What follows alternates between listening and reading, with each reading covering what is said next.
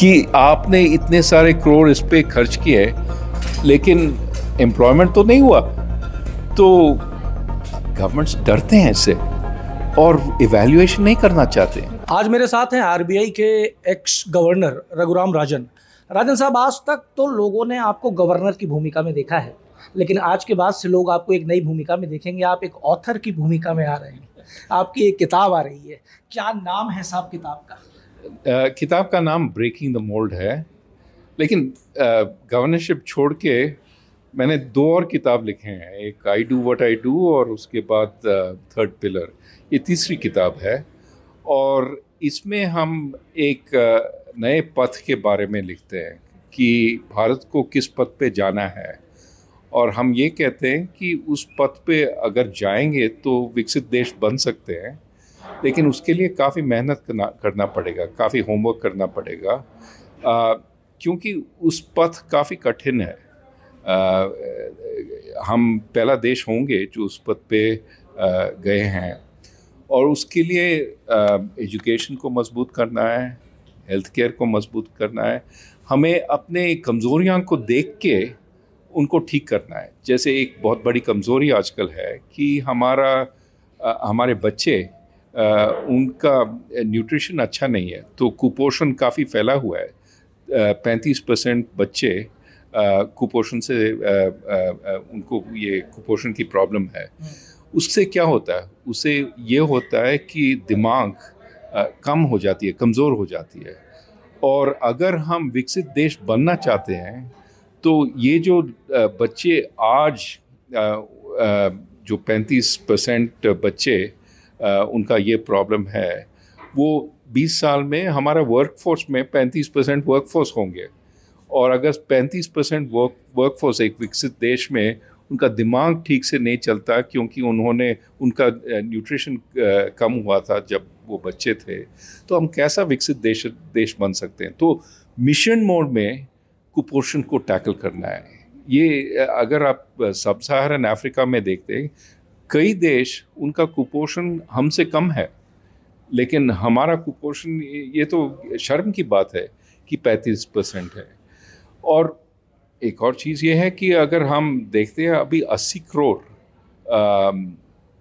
शख्स इस इस देश में, उनको मुफ़्त फ़ूड ग्रेन मिल रहा है। क्यों? हम सात परसेंट पे जा रहे हैं, उनको क्यों उनको क्यों देना पड़ता है? अब देना पड़ता है इसलिए कि उनके पास नौकरी नहीं है, उनके पास रोज़गार ही नहीं है। तो हम रोज़गार ही कैसे पैदा करेंगे सबके लिए? अच्छे रोज़गार। हर हर घर में एक अच्छी नौकरी कैसे ले आएँ? तो उसके लिए प्लान बनना, बनाना पड़ेगा।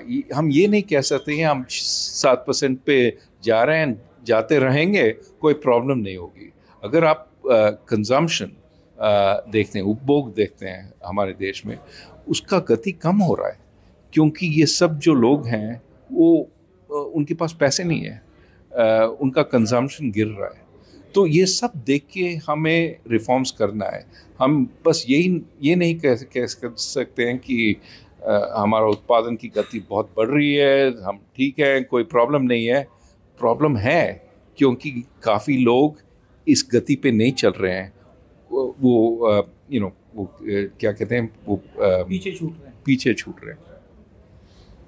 तो सर आपके हिसाब से जो आप विकसित और विकासशील की बात कर रहे हो भारत की आपके हिसाब से भी देश किस राह पे चल रहा है? क्योंकि हम बात तो कर रहे हैं बड़ी आसानी के साथ में कि हम विश्व की पाँच भी बड़ी अर्थव्यवस्था हैं लेकिन सच ये भी है कि अस्सी करोड़ लोग आज भी सरकार अगर उनको खाने का भी व्यवस्था सरकार को करनी पड़ रही है तो कहीं ना कहीं स्थिति में कुछ सवालिया निशान है। हाँ। तो हम कहाँ हैं? विकसित भारत और विकासशील भारत की देश में हम कहाँ खड़े हैं? हम ये कह रहे हैं कि दोनों चीज़ सच्चे हैं। एक तो हम हम दुनिया में पांचवी इकोनॉमी है वो तो सही बात है। लेकिन ये भी सही बात है कि 80 करोड़ लोग गवर्नमेंट उनको खाने, खाने, खाने हाँ तो मेरे ख्याल में हमें ये मानना है कि हाँ कई लोग तो अभी विकसित हैं जो पचास पाँच करोड़ लोग इस देश में आजकल विकसित हैं। आप दो भारत की बात करते हो एक भारत के अंदर दो भारत की आपने बात की हाँ दो भारत हैं एक तो विकसित भारत तो जो विकसित भारत उस पाँच करोड़ के हिस्से को देख रहे हो। हाँ और और फिर बाकी जो वहाँ पे पहुँचना चाहते हैं तो हम उनको वहाँ से वहाँ पे कैसे पहुँचाएँ? तो सर एक हिस्सा तो हो गया विकसित भारत का जिसमें पाँच करोड़ आ गए। हम्म। और दूसरा हिस्सा जो है उसको क्या कहेंगे? वैसे तीन हिस्से हैं। तीन हिस्से। ए, एक तो जो हिस्सा है वो अस्सी करोड़ लोग जिनको गवर्नमेंट से फ़ूड ग्रेन्स मिल रहे हैं। और बीच में मध्य वर्ग है जो बनना चाहती है विकसित। पर वो जा तो नीचे की तरफ़ रहा है सर वो अभी अभी नीचे की तरफ़ जा रहा है क्योंकि नौकरियाँ नहीं है। हम्म। अगर आप देखेंगे इस देश में सबसे बड़ी प्रॉब्लम क्या है? वो बेरोजगारी है। अब लोग कहते हैं हाँ नहीं नहीं नहीं, वो सर्वे देखो, वहाँ पे बेरोजगारी नहीं है। इसलिए नहीं है क्योंकि लोग जब कुछ भी करते हैं, वो कहते हैं कि हाँ मेरे पास नौकरी है। अगर औरत घर में काम करती है, वो कहती है, मेरे पास नौकरी है। अगर वो जिस दुकान में पाँच लोग एक एक जने का काम कर रहे हैं तो अगर वो वो सब पाँच लोगों को के पास काम है, लेकिन अच्छा नौकरी नहीं है। उसमें कम आमदनी मिलता है। तो हम उसको कैसे बढ़ाएँ? तो इसलिए हम कह रहे हैं इस किताब में कि वो बहुत बड़ी प्रॉब्लम है और पूरे देश में हमें ये रिकग्नाइज करना है कि इस प्रॉब्लम को टैकल करना है इसको सॉल्व करना है। सर आपके हिसाब से क्या हाल आपको नज़र आता है कि कैसे ये प्रॉब्लम जो है वो सुधारी जा सकती है? काफ़ी चीज़ें करने पड़ेंगे। एक तो वो इंडस्ट्री जो है उनको बताना है कि आपको वर्कर्स चाहते हैं लेकिन आप ये कहते हैं कि इनके पास स्किल्स नहीं है।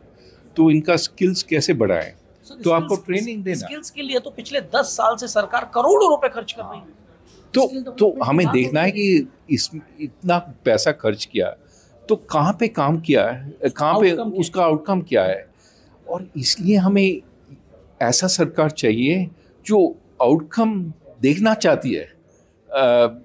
यू नो लेकिन कभी कभी सरकार आउटकम देखना नहीं चाहती है, क्योंकि वो आउटकम ठीक नहीं हो सकती है कभी कभी आउटकम्स ठीक नहीं है.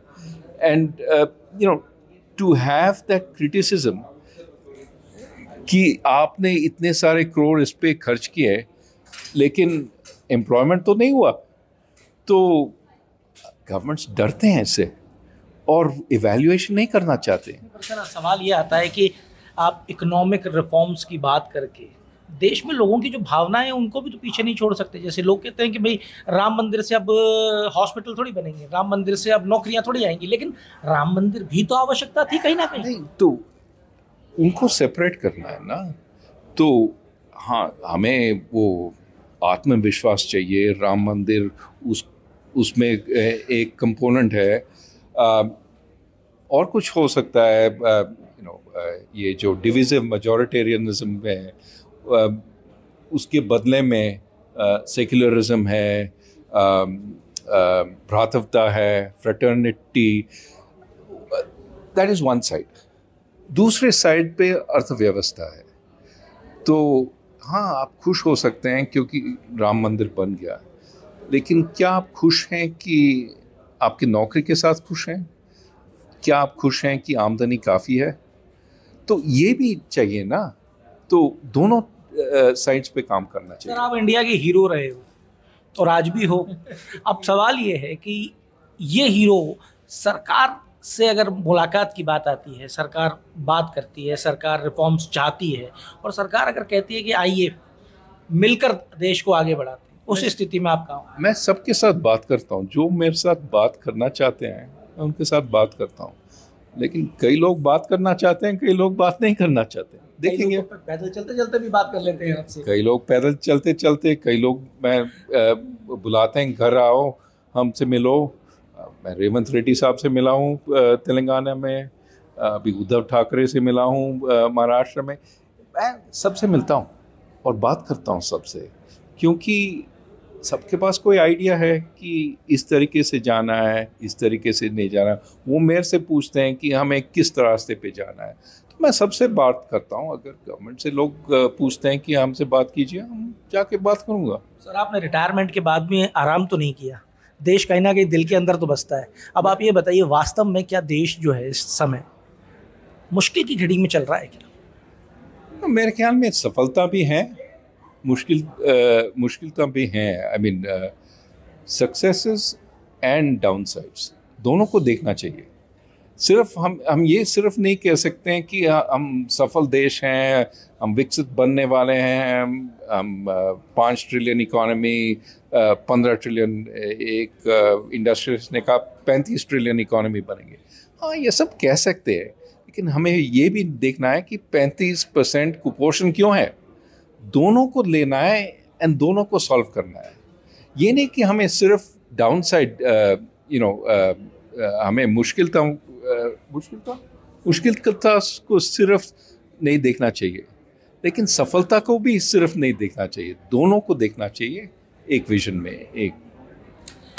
तो ये आप सुन रहे थे आरबीआई के एक्स गवर्नर रघुराम राजन को, जिन्होंने कहा कि राम मंदिर भी होना चाहिए तो देश में दूसरी तरफ़ भी हमको नज़र डालनी चाहिए।